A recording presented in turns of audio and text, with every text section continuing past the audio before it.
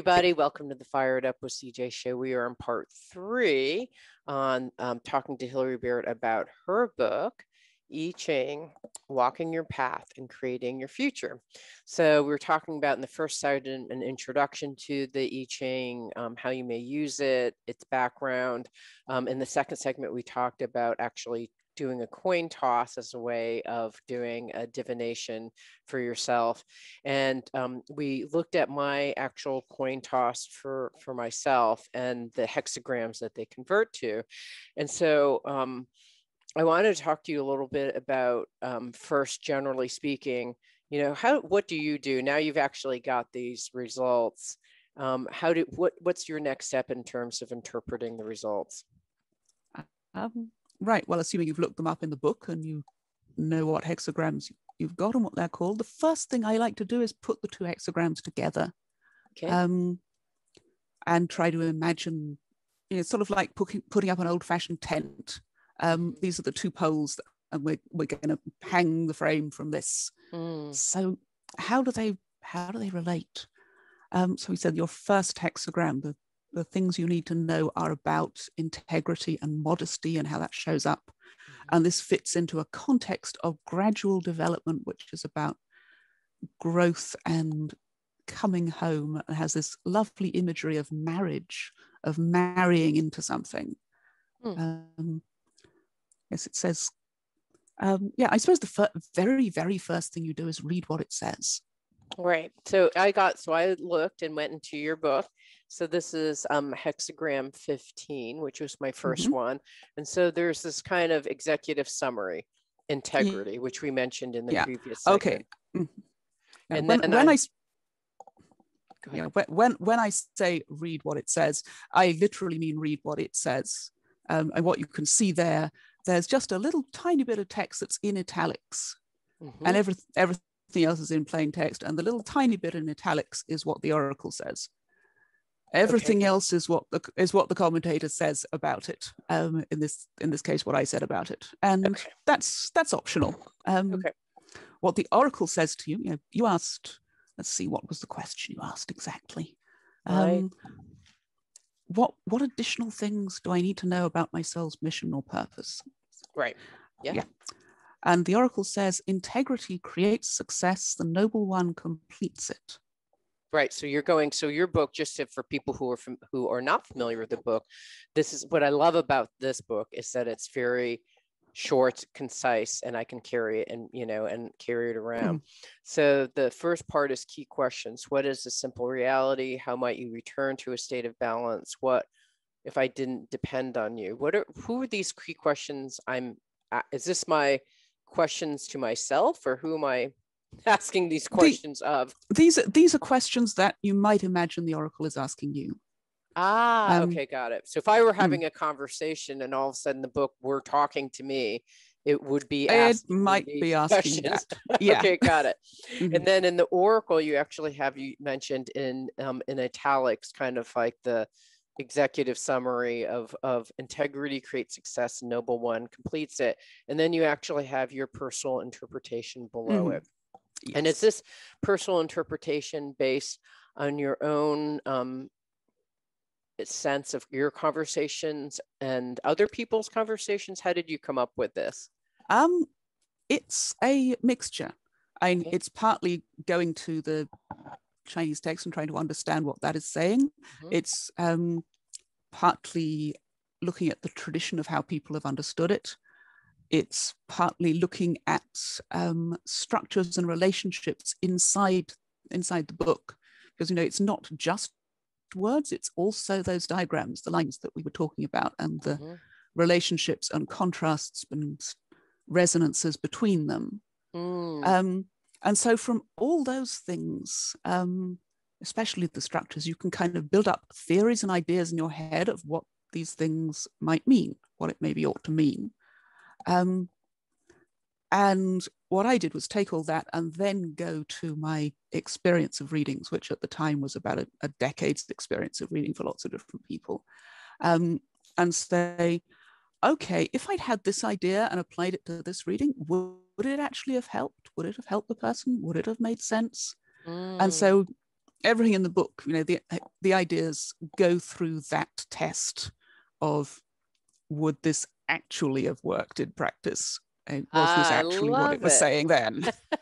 okay, and then and, and below it you have an image. So what is this image that you're referring to? Yes.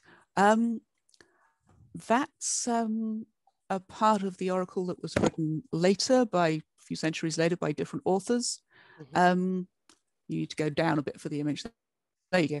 Um, and that is describing the trigrams and the picture that the tri- the two okay, trigrams this, is, this the, is this the picture, picture is this picture the one that you're referring to? The image of this um, picture? Uh, no, I'm referring to the picture you can imagine by thinking about the two trigrams. Ah, I see. Got it. Okay, got it. So if you were looking at this picture of these two That's trigrams, what can That's I imagine that means? Ah, okay, yes. got it. Just okay. what can you what can you imagine it looks like? Um, the lower trigram is mountain, um, and the upper trigram is earth. Um, and you know, so there's a mountain under the earth yeah. Which is, you know, which seems odd. Um, how can there be a mountain under the earth? Mm-hmm. Um, and I sat, I when I sat and imagined that, what I thought of was there can be bedrock under the earth. Mm-hmm. You know, if you go down far enough through the soil, you find rock. It's as if there's a whole mountain down there under your feet. Mm-hmm. Um, and so I imagine hexagram 15 as a picture of bedrock um, and the soil above it that's you know created by its erosion. Um, mm. Um, and the fact there is something very solid down there, mm. um, but you can't see it. Um, okay, and then you talked about the relationships of that hexagram, and there's different relationships, right? There's mm. the sequence, which is the um, sequence, and then the pair. Tell me about what is this the sequence that you're referring to in the pair? right? The sequence is always simply referring to the hexagram that comes before. Um, okay. So that's you know, okay. that's the level so 14, of arithmetic that even yeah. I, so 14 comes before with. 15. Okay. Yeah, we've got it. okay, and that yes. matters because this is like book of transition. So preceding it it's, became 14. So now we're at 15. So what does it mean? Yeah. It um it tells it can tell a story it can show where you're coming from and sometimes it makes it easier to relate to the hexagram you received um, ah. and it helps clarify what it is and what it rests on. Um, ah. Okay, so mine says great possession. 14 is great possession. So it says mm. great possession means being incapable of arrogance, and so integrity follows. Um, so does that mean that's where I'm coming? That's where I'm coming from, and now I'm moving to something else. Yeah, that's that's what your integrity rests on. Ah, um, okay the fact that you have great possession, which I would say means you have you're rich in talent and ability and you have a lot going for you. Um, and what follows from this is the picture of integrity and modesty and not being arrogant. And the, the word for arrogant, it actually literally means over full, something that's overflowing. Um, so it's yeah it's not being not being too full of yourself basically right okay um, and the, the and the and the sequence is saying that it, that when you are tr- truly talented you can't be too full of yourself got um, it which come to think of it from the really really talented people i've known you know, great musicians that does tend to be true they're, right they're lovely they act as if they were utterly unaware of how brilliant they are mm yeah. Mm. Okay, and then there's the pair. What, what is this mm. pairing mm. with? Um, the in each case, an odd numbered hexagram, one, three, five, and so on, pairs with the even numbered one that follows it. Yeah. Um, normally, the pair is just the hexagram you started with. Let me get this the right way up. Um, that's that's 15. Right. Turned upside down. Oh, um, I see. Yeah, that's that's hexagram 16. Um, oh. That's how the oh. pairs are, that's how the pairs are created normally. Ah. Unless you unless you get a hexagram that's the same upside down, in which case they go to its opposite. But you haven't. Okay. Okay, so in my case, it's enthusiasm. Integrity takes itself lightly. Enthusiasm is careless. So, what is this pair trying to share with me? Um, it's you can kind of imagine it's like you were handed a, a coin with 15 on one side and 16 on the other. So it's about this integrity, enthusiasm um, pair balance between these two things. And it's saying, but look, it's it's this way up. You want it, you want you want to concentrate on the integrity side of things. Um, I integrity, yeah, integrity creates success. The noble one completes it. Um, the noble one that's um, the learner. It's the kind of person, someone who is imaginative and learning and progressing. It's the kind of person you want to be. They complete it. They get the work done. Um,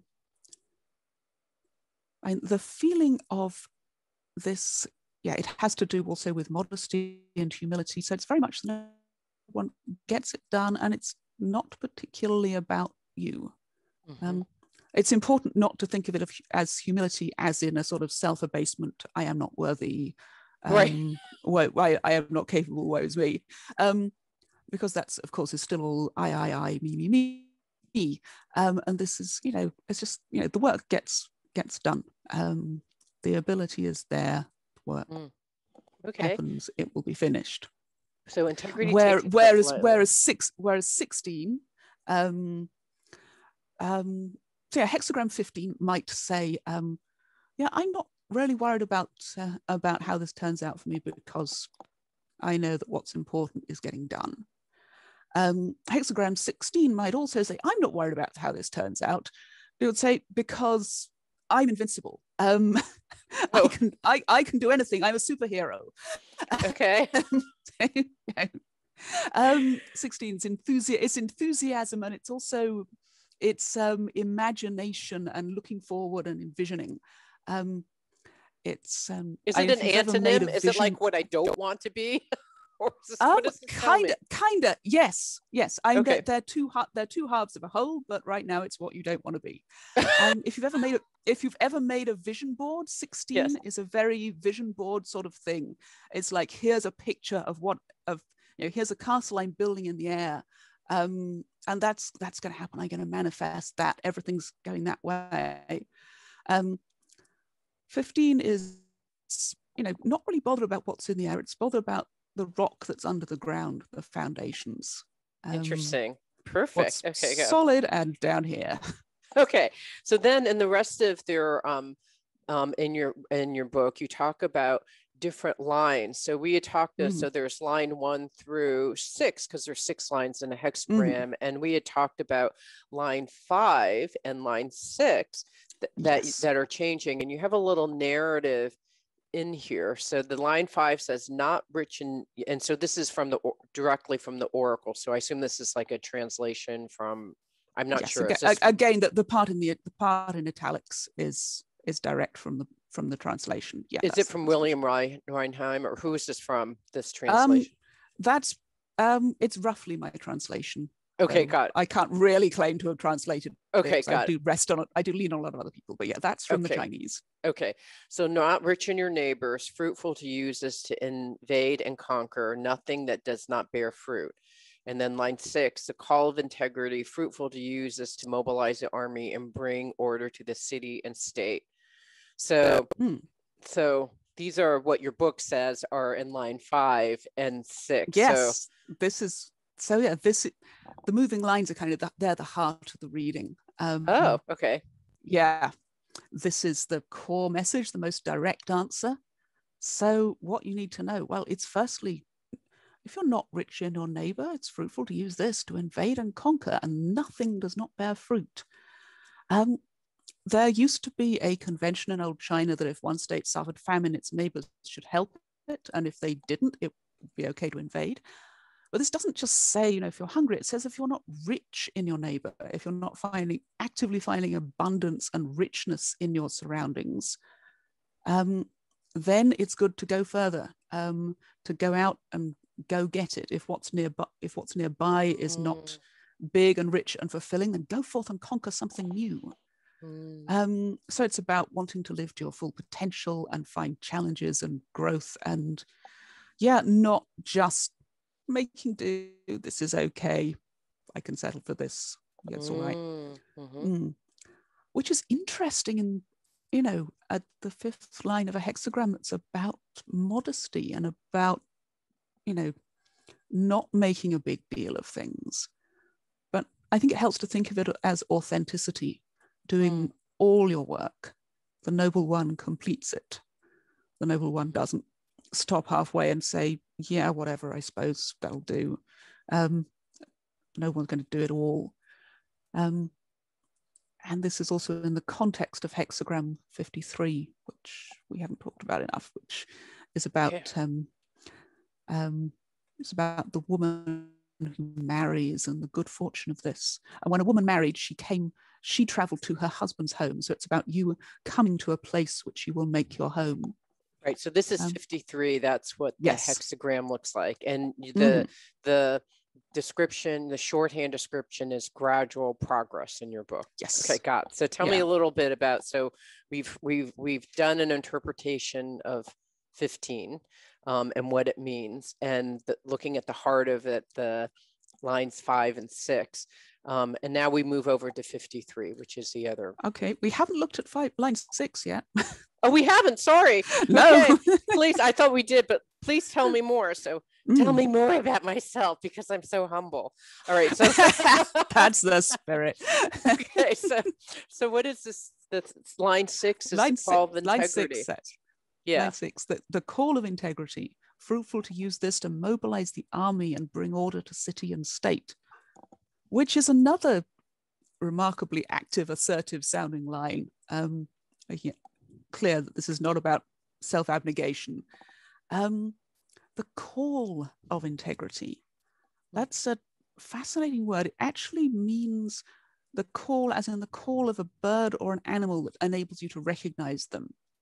You know, hmm. the, dis- the distinctive call of a blackbird or robin, you be able to say, oh, yeah, that's a blackbird, that's a robin. Um, so it's the sound of your authenticity. It's the sound you make that's recognizable as you, mm-hmm. Which is an interesting answer for someone mm. who started out with a radio show. Right. yeah. yeah. It's your your voice, your identity sings out. Mm. Um, mm. It makes me wonder. Actually, I'm you're doing an interview show. Um, mm-hmm. You're putting me in the foreground and yourself kind of in the background. Your your mountain is under the ground. Um, I wonder if there's more of your voice that needs to that could be heard. There could be some solo shows. yeah. Um, so yes, and the, and this sound, this of your voice, kind of sets everything else in motion. Has this galvanizing effect. It's mm. fruitful to use this to mobilize an army and bring order to city and state um, as an image of being like a warrior and a leader and making things happen.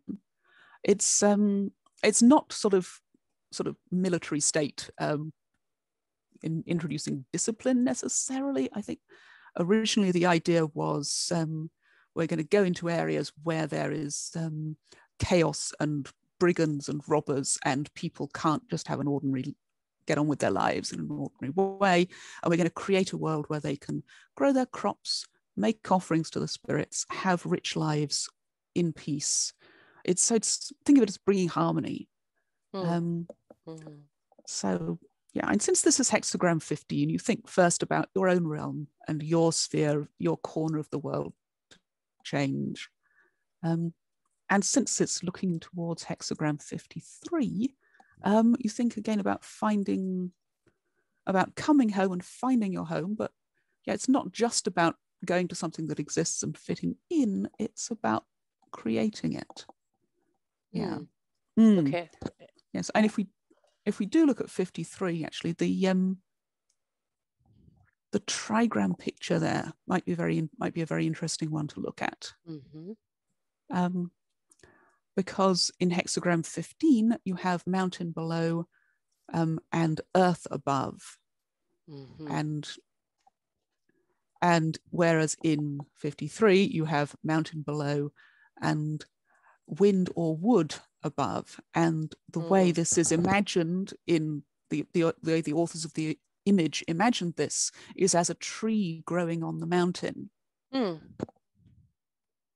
Um, on the mountain is a tree, it says, gradual progress. A noble one abide, abides in virtuous character and improves the ordinary.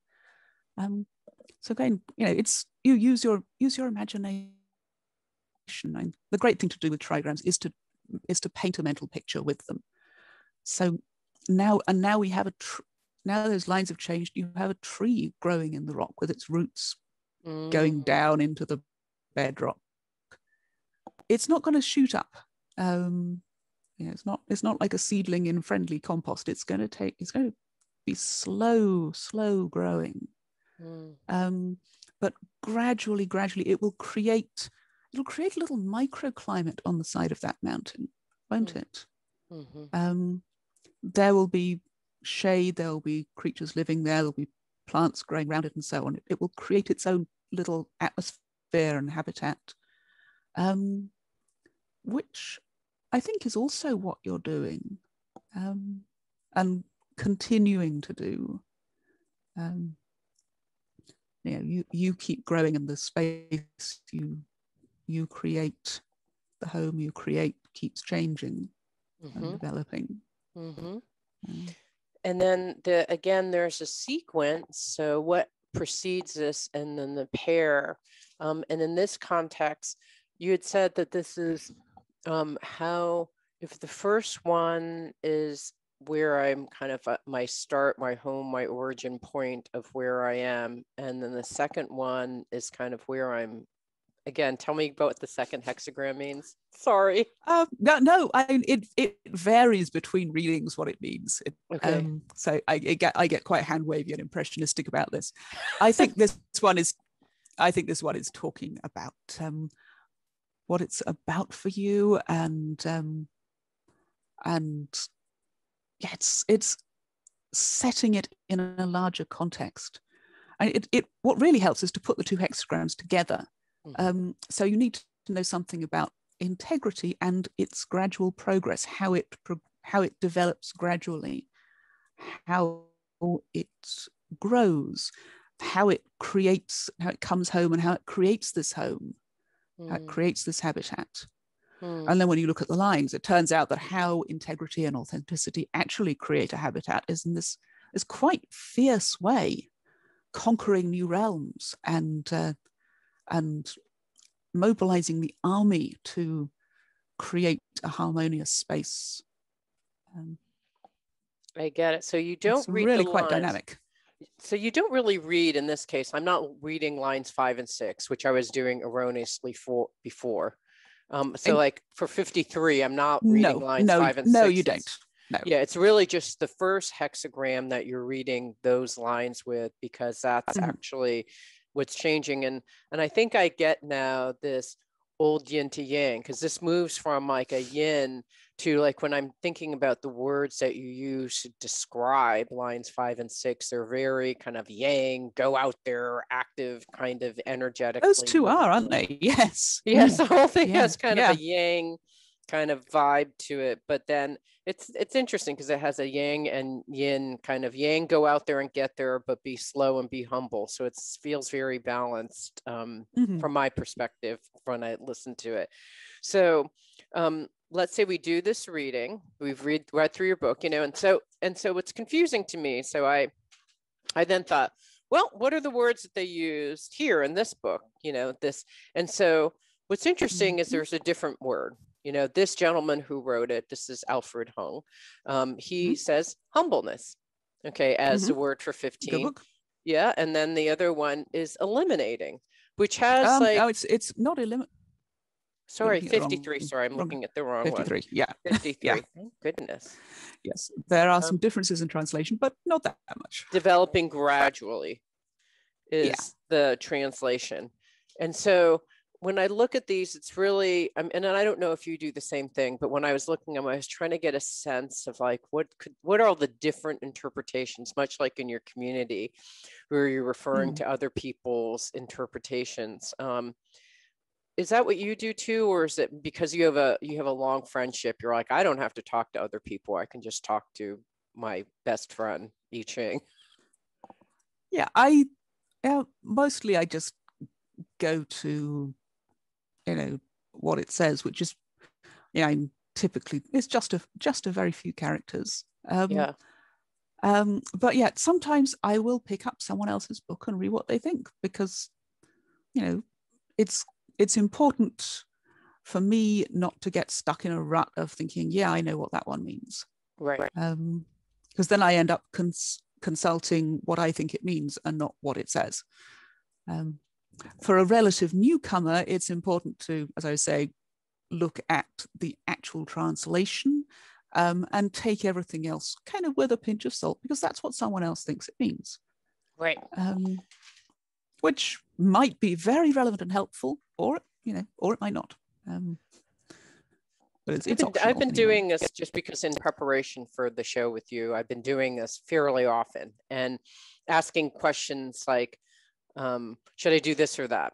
And I thought I didn't have enough time. And so I was just waiting for my husband in the car uh, in between appointments. And I was just like, I did the I Ching on the online thing. And I was like, should I do this work that I'm thinking about in diversity, equity, inclusion? Like shake, shake, shake, shake, shake, shake, shake. I'm like, oh, that's interesting. Okay. Says no.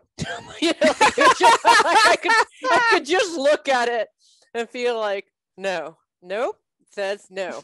And, you know, I, I read through the, I skimmed through the background and I thought, okay. And, and what was interesting is, um, I, I, I tuned into it and and I think it was a no that was already informed internally by a no because I couldn't jump quickly to a no unless there was a part of me that was saying no already and I was just looking for another validation that it was a no. And so it was interesting just the process, right? Now there there have been times when I look, Mike, I'm not sure what this means you know and I'll, I'll contemplate it more deeply i mean do you find that with yourself as well like you were talked about you may ask questions um, like should i get this software on sale right now or, or not um, mm. which is kind of like uh, you know i perhaps you contemplate a week for it but perhaps the sale is over by the time you contemplate it for a week and then uh, during yeah. the week you may ask the question of what do I need to know? And so in that one that is more contemplative, I mean, how how does your interpretation vary based on the question that you've asked? Um, has the interpretation vary based on the question? I don't think it does really. I'm sorry, I'm not quite sure what you mean. Yeah. Okay. So how, how how in depth do you spend time thinking about? Oh, it? oh well i mean with um i'm with what what if i what if i buy this software you know it's it's this it's this great offer and i never thought about needing such a thing but now i can suddenly imagine all these ways i could use it um and i could you know I can just see how amazing this is going to be and it's going away you know because of right. course it's limited time it's pressing all it's pressing all my buttons um and i might cast a reading and i might get hexagram 16 which we were just talking about because which I've had that several times when I was asking that kind of, um, you know, what if I get, what if I get this amazing thing that's going to transform everything? Um, and by now, by now, we were talking about the sort of, sort of personal associations. By now, I know that that is the oracle's way of saying, yeah, yeah, you're imagining quite a lot there, aren't you? aren't you? Aren't you getting keen? Um, what a wonderful castle you've built in the air there. Any any foundations, any chance of um, so you know, how, and how long would I spend looking at that? Not very. Um, you know, close the browser tab with the sale in it, go and do something else, and that would right. be the end of it. Um, if I've got a reading for the week, I'll look at it at the beginning of the week and remember it and mull it over during the week and come back to it at the end. Um, if I've got a, a big question, you know, about um, for me, the big ones are often about how to tackle something in a relationship or something. Mm-hmm. Um, then, um, you know, I will. I mean, I, I always want to to sleep on it at least. I want to mm-hmm. s- spend time with it, read what it says, mull it over, ask myself um, simple, dumb sort of questions about it.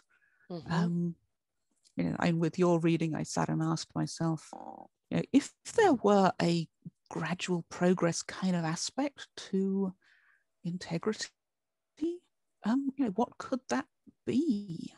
Mm.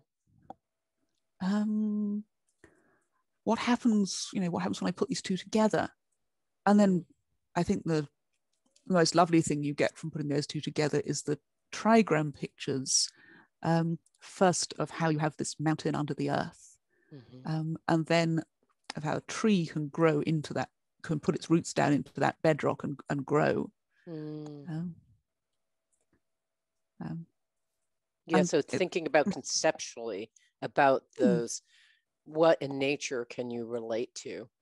yeah and paint, painting painting mental pictures um, and connecting with it imaginatively and that there are pictures in the trigrams there are often pictures in the text um, and there are there are pictures there's there's the image of you of you having your own call like a bird has a call. Um, um, so and yeah i'm spending time with these and you know not not being in a big hurry to go and collect a set of abstractions and say you know um, mountain represents let's see we've got a list we've got stillness and calm and stopping and obstruction and blood you know and then should in the upper trigram that represents influence and growth and gradual and yeah, and um, you know not you know let's uh, go back instead to uh, thinking about a tree growing on a mountain hmm. because I, and that's how oracles actually speak to us with pictures that and it's what we're wired for to connect to that kind of thing and mm the is full of little vignettes, little stories. You know, um, there's a line that says that's that's the most recent edition of it, which is less beautiful but more portable. Um, it you know it doesn't have the pictures; it just looks like a sort of ordinary book. Thank you so much for being here.